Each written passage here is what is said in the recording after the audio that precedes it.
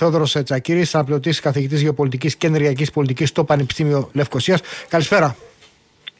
Καλησπέρα. Λοιπόν, εξελίξεις σε εμάς καταρχήν θετικές, εξελίξεις στον περίγυρο μακράν από θετικές καμία σχέση.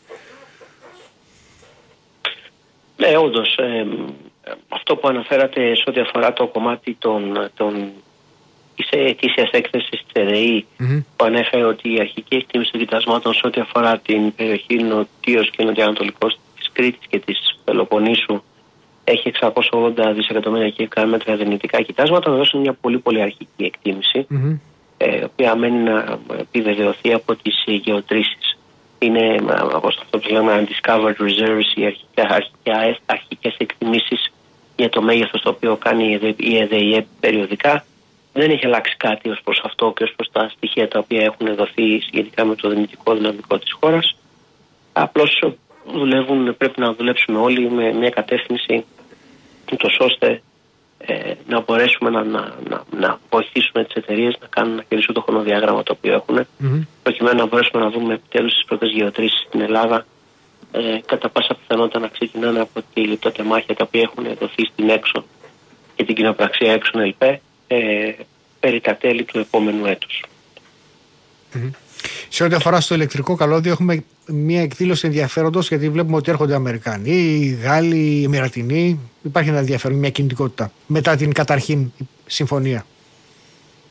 Ε, η συμφωνία αυτή είναι πολύ θετική. Δημιουργεί ένα επίπεδο ρυθμιστικής σαφήνειας και ρυθμιστικής ασφάλειας, το οποίο είναι απαραίτητο προκειμένου να, να προχωρήσει οποιαδήποτε επένδυση με τα χαρακτηριστικά ε, τεχνικά και οικονομικά χαρακτηριστικά ρίσκου που έχει ένα καλώδιο που θα είναι το μεγαλύτερο σε μήκος και το μεγαλύτερο σε βάθος που έχει κατασκευαστεί ποτέ, ποτέ, όχι στην Ευρώπη, σε παγκόσμια κλίμακα. Οπότε είναι θετικό ότι και γενικότερα υπάρχει ένα πολύ καλύτερο κλίμα ε, συνεννόησης και συναντήληψης στο συγκεκριμένο θέμα ε, ε, το οποίο επιτρέπει να ξεκινήσουν να συνεχιστούν και να επιταχυνθούν οι συζητήσεις και τα ενδιαφέροντα τα οποία έχετε, έχετε αναφέρει. Σας βλέπω, σας ακούω μάλλον συγκρατημένο. Καλά κάνετε, διότι έχουν υπάρξει πολλά πισωγυρίσματα και όλα αυτά τελούν υπό την αίρεση των εξελίξεων στον ε, περίγυρο. Όπου εκεί ενδεχομένως οι επόμενες δύο-τρεις μέρες να είναι καθοριστικές σε σχέση με την απάντηση του Ισραήλ στο Ιράν. Όπου τα πράγματα εκεί είναι ακόμα υπό διαπραγμάτευση με τους Αμερικανούς. Ναι, αυτό που λέτε είναι πολύ σημαντικό, διότι αυτά τα, μια, μια ευρύτερη περιφερειακή ανάφλεξη η οποία θα μπορούσε να, να, να, να, να στατώσει ακόμα περισσότερα την περιοχή δεν είναι προς το συμφέρον οποιασδήποτε δύναμης η οποία θέλει να προασπίσει την περιφερειακή σταθερότητα.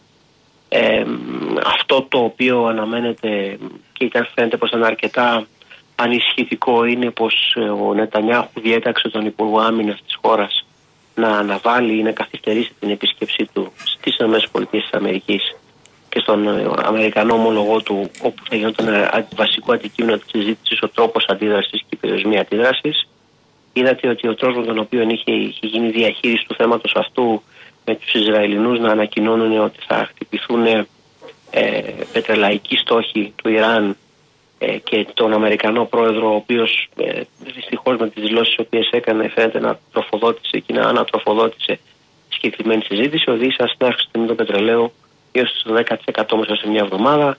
Ε, και βεβαίως υπήρχαν και άλλες δηλώσεις από την πλευρά του Ιράν, το οποίο έλεγε ότι εάν επιτεθεί το Ισραήλ κατά των ενεργειακών υποδομών της χώρας, το οποίο παραμένει ως επιλογή που να μην χτυπήσει πάνω χάρη πετρελαϊκέ εγκαταστάσει, τις εξαγωγικές ή τα πεδία ή ακόμα και τα δηληστήρια του Ιράν, άρα θα μπορούσε ενδεχομένως να πετύχει μη ενεργειακούς στόχους όπως το ηλεκτρικό δίκτυο, όπως άλλα κρίσιμα σημεία των ενεργειακών υποδομών, όπως είναι τα δίκτυα φυσικού αερίου, ε, τα οποία θα μπορούσαν να κάνουν πολύ σοβαρή ζημιά. Εδώ ότι το Ιράν, ε, δεν το γνωρίζουν αυτό, αλλά το βασική στο ενεργειακό μείγμα του Ιράν το ιστορικά παραγόμενο φυσικό αέριο είναι μακράν το πιο σημαντικό κομμάτι του ενεργειακού μείγματος της χώρας.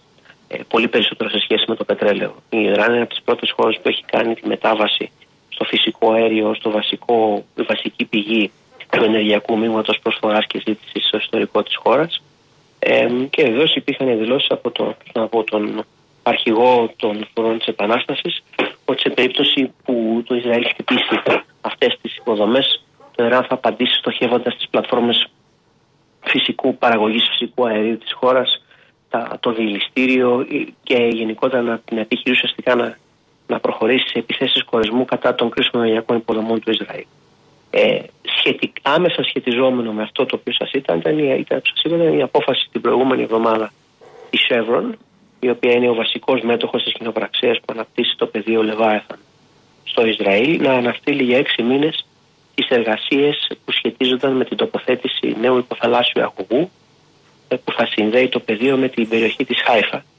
Κοντά στην περιοχή της Χάιφα, σε μια θαλάσσια ε, παράκτια ζώνη που, που επικεντρώνεται στην πόλη Ζόρ, ε, στο Ετιτόρ, η οποία είναι θα, η λογική του αγωγού αυτού ήταν, ήταν απαραίτητος να, να γίνει προκειμένου να μπορεί να διοχετευτεί στην Ισραηλινή αγορά και ενδεχομένω σε εξαγωγές ε, η, δεύτερη, η δεύτερη φάση ανάπτυξης του Λεβάεθαν, τα επόμενα 9 δισεκατομμύρια κυβικά μέτρα αερίου, τα οποία ε, είναι και το σημαντικό ή η σημαντικότερη επόμενη φάση ανάπτυξης των κοιτασμάτων της Ανατολικής Μεσογείου ως δυνητικά σημεία ε, περαιτέρω παραγωγής και περαιτέρω εξαγωγών. Αυτό είναι κάτι το οποίο έγινε ε, προχθές. Είναι ενδεικτικό ε, του κλίματο ανησυχίας που επικρατεί στην ευρύτερη περιοχή, αλλά και του γεγονότο ότι αυτό θα επηρεάσει μια, μια ενδεχόμενη κατάσταση, θα επηρεάσει μόνο την τιμή του πετρελαίου, θα επηρεάσει ήδη και την τιμή του φυσικού αερίου και κατά επέκταση και την Ευρώπη. Ήδη οι τιμές του TTF, που είναι το βασικό benchmark υπολογισμού των, και των παροντικών αλλά και των μελλοντικών ε, παραγόγων συμβολέων φυσικού αερίου στην Ευρώπη, έχει μέσα σε περίπου έχει, έχει τσιμπήσει γύρω στο 40%, έχει αυξήσει 40% σε σχέση με πριν από μερικούς μήνες. Οπότε η κατάσταση αυτή δυστυχώς φαίνεται ότι βρίσκεται επί ξηρού ακμή. Ε, μία γενικευμένη ανάφλεξη ε, στη Μέση Ανατολή δεν μπορεί να αποκλείεται μετά από αυτό το οποίο συνέβη και εδώ θα πρέπει όλοι να, να, να έχουμε υπόψη μας ότι ακόμα και αν το Ισραήλ δεν προχωρήσει, αν το Ισραήλ περιορίσει και, και ε, ε την, την, την, ε, την αντεπίθεσή του στοχεύοντας αποκλειστικά στρατιωτικούς στόχους, αυτό δεν σημαίνει ότι θα σταματήσει εδώ η φάση της, της κλιμακούμενης έντασης και πρέπει επίσης να ξεχνάμε ότι το, το Ιράν θα συνεχίσει να ξαναεπιτεθεί στο Ισραήλ. Ακόμα και αν το Ισραήλ δεν αντεπιτεθεί τώρα σε περίπτωση που συνεχίσει μια στρατηγική εξουθένωσης της Χέσβολα η οποία πηγαίνει πολύ πέραν των, ε, της, προς, της, ε, των διακηρυγμένων στόχων του Νετανιάχου που να δημιουργήσει μια ζώνη ασφαλείας ώστε να επιστρέψουν 60.000 εσωτερικά, εσωτερικά εκτοπιστέ Ισραηλινοί πολίτες στο βόρειο τμήμα της χώρας. Αυτός ο στόχος πλέον φαίνεται ότι έχει υπερβεί, ναι. έχει ξεπεραστεί από μια προσπάθεια δομικής αποδυνάμωσης της θεσμολα σε σημείο που να επιτρέψει στους ιστορικούς εχθρούς της Θεσμόλα στο Λίβανο να την ανατρέψουν. Ε, ο Νετανιάχου σήμερα έκανε δημοσίως δηλώσεις προς αυτή την κατεύθυνση, λέγοντας στους Λιβανέζους είναι η ευκαιρία να πάρετε πίσω τη χώρα σας. Εδώ φαίνεται ότι ο, ο Νετανιάχου, το Ισραήλ, γιατί δεν νομίζω ότι είναι μόνο πολιτική Νετανιάχου, αλλά εν πάση περιπτώσει, μείνουμε σε αυτό, ότι έχει ως διακηρυγμένο στόχο, διακηρυγμένο πλέον όπως είπατε, την ανατροπή καθεστώτων γενικά στην περιοχή, καθεστώτων εν τη ευρεία έννοια και ε, στην ουσιαστική. Δηλαδή, ανατροπή του καθεστώτος των Μουλάδων στο Ιράν, ανατροπή του καθεστώτος κυριαρχίας της Χισμπολά στον ε, Λίβανο, δηλαδή να αλλάξει δομικά τον περίγυρο. Τελικά έχετε απόλυτο δίκιο, δεν είναι επιχειρησιακός στενά ο στόχος, δηλαδή να δρανοποιήσει τη Χισμπολά στρατιωτικά και να την, ε, να την, να την, ε, να την εξωθήσει βορείω του ποταμού Λιτάνη. Πάει για δομικές αλλαγές πολιτικών καταστάσεων. Ναι, αυτό είναι αρκετά φιλόδοξο στόχος ότι αφορά το Λίβανο αυτό καθ' αυτό. Και αυτό θα επιφέρει περαιτέρω και κλιμακούμενη αντίδραση από την πλευρά του Ιράν. Δεν ξεχνάμε ότι η Hezbollah είναι το πετράδι του στέματος ναι. εντός εισαγωγικών σε αυτό τον άξονα συλλητική αντίστασης που έχει οικοδομήσει η Τεχεράνη όχι τώρα, από το 1982, με πρώτο και σημαντικότερο τμήμα αυτής της στρατηγικής. Στη δεύτερη φάση αυτό έγινε μετά την Αμερικανική εισβολή και κατοχή του Ιράκ το 2011 και μετά τις αραβικές εξεγέρσεις. Αλλά το σημαντικότερο κρίκος αυτής της αλυσίδας των σιητικών πολιτοφυλακών ή κρατικών και παρακρατικών δομών, όχι με την ελληνική είναι το παρακρατικό, με την της πολιτικής ναι, ναι. επιστήμης, παρά, παράλληλο κράτος δηλαδή. Ναι, ναι. Το να πω είναι κάτι το οποίο ε, στηρίζεται στη Χέσμολα. Δεν, το Ιράν δεν έχει την πολυτέλεια να αφήσει τη Χέσμολα να καταρρεύσει. Και, και αυτό και όταν, αρχίσει, όταν σταδιακά θα αρχίσει να αυξάνεται η χερσαία εμπλοκή του Ισραηλινού στρατού, mm-hmm. ήδη μέσα σε, φαίνεται ότι μέσα σε μια εβδομάδα την προηγούμενη συνομιλία μας έχει διπλασιαστεί ο αριθμός των Ισραηλινών στρατιωτών που ενεργούν, προσπαθούν να ενεργήσουν στο νότιο Λίβανο από 10 σε 20.000 άνδρες. Και φαίνεται πως αυτή την κατεύθυνση, καθώς πλέον αρχίζει αυτό το κομμάτι, το χερσαίο κομμάτι, τα ρίσκα μεγαλώνουν γιατί και οι δυνατότητες της Hezbollah να σταθεί να αντεπιτεθεί αυξάνονται όταν έρχεται πλέον στο καθαρά κομμάτι των χερσαίων επιχειρήσεων. Οπότε έχει τα ρίσκα του αυτό. Ο άλλος στόχος που αναφέρεται για να ανατραπούν οι μουλάδες, αυτό είναι πολύ, νομίζω ότι είναι κάτι το οποίο το Ισραήλ δεν μπορεί να επιτύχει mm-hmm. χωρίς να ενεργήσει συμπαράσταση των ΗΠΑ. Και κάτι τέτοιο είναι απολύτως σαφές ότι δεν πρόκειται να δοθεί σε μια επιθετική κίνηση μεγάλης κλίμακας κατά του Ιράν, ε, τουλάχιστον μέχρι να αναλάβει ε, η επόμενη κυβέρνηση τον Ιανουάριο, σε αρχές του Ιανουάριου του 2025. Mm. Οπότε πιστεύω ότι είμαστε σε αυτή τη φάση. Και αν αναλάβει όποια και να είναι, πιστεύω ότι θα προσπαθήσει να βάλει χαλινάρι στον κύριο Νετανιάχου και τη στρατηγική της περιφερειακής εξισορρόπησης ή ανισορρόπησης, ανάλογα με το που βρίσκεσαι, ποια γωνία το βλέπεις στην περιοχή. Ε, κάτι το οποίο άδεια είναι αδιανόητο το ρίσκο, πολιτικό, κομματικό ρίσκο για κάποιον να το κάνει αυτή τη στιγμή, λιγότερο από ένα μήνα πριν τι Αμερικανικέ εκλογέ. Mm-hmm. Πάντως το Ισραήλ φαίνεται ότι προσπαθεί να εκβιάσει την αντίδραση του Ιράν ακριβώς για να αιτιολογήσει μετά την δική του ανταπάντηση. Ξέρει ότι καταστρέφοντας όλο τον περίγυρο των πρόξης των πλεξουσίων του Ιράν θα αναγκάσει το Ιράν, όπως έγινε εξάλλου, να απαντήσει, γιατί μετά το Ιράν θα μείνει εκτεθειμένο. Του καταστρέφει την εξωτερική ασπίδα, τον, τον ε, περίγυρο προστασίας, τον buffer. Ναι. Πε, άρα τον εξανα, τους εξαναγκάζει σε απάντηση για να απαντήσει μετά, να νομιμοποιήσει τη δική του ανταπάντηση. Ναι, εντάξει, απλώς το θέμα είναι. Ναι, σωστό αυτό που λέτε, αλλά και πάλι το θέμα είναι ποιος είναι το, ποιο είναι το στρατηγικό τέλος αυτής της υπόθεσης.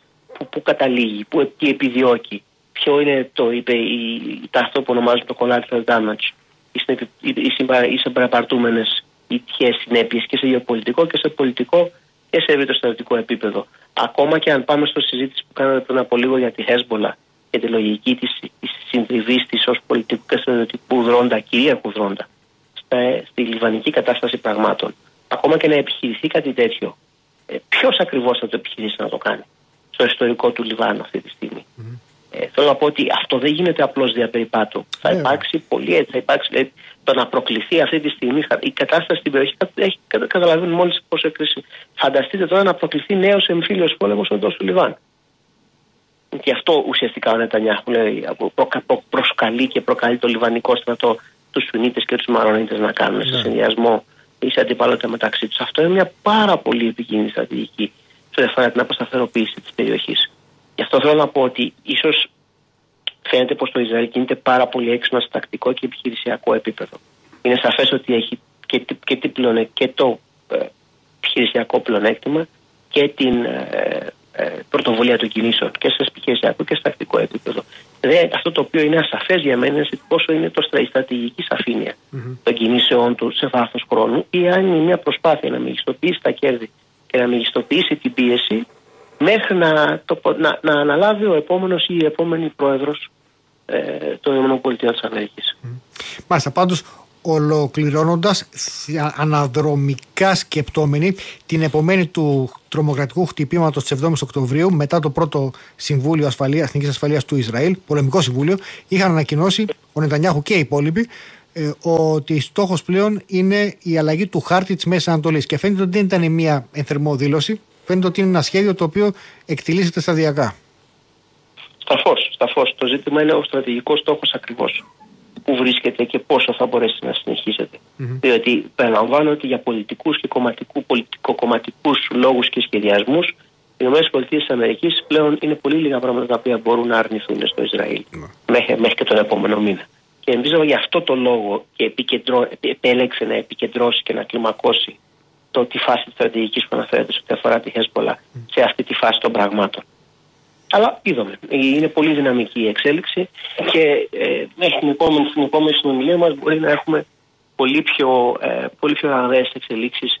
Διότι είναι σαφές ότι το Ισραήλ θα απαντήσει. Αυτό είναι νομίζω αναπόφευκτο. Mm. Ε, Α ελπίσουμε ότι θα γίνει κατά τρόπο συμμετρικό και σε ό,τι αφορά τη σφοδρότητα της επίθεσης και σε ό,τι αφορά το εναντίον τίνος, δηλαδή υποδομών ε, επιτεθεί ώστε να μην αυτό θεωρηθεί περαιτέρω, περαιτέρω αλυσίδα ε, κλιμάκωσης και περαιτέρω αλυσίδα αποσταθεροποίησης την οποία σίγουρα δεν τη χρειαζόμαστε όχι μόνο για ενεργειακούς λόγους αλλά και για λόγους παράνομης μετανάστευσης και για λόγους ε, ευρύτερης περιφερειακής ε, αποσταθεροποίησης. Μάλιστα, ευχαριστούμε πάρα πολύ. Ευχαριστούμε πάρα πολύ. Εγώ ευχαριστώ. Να είστε καλά.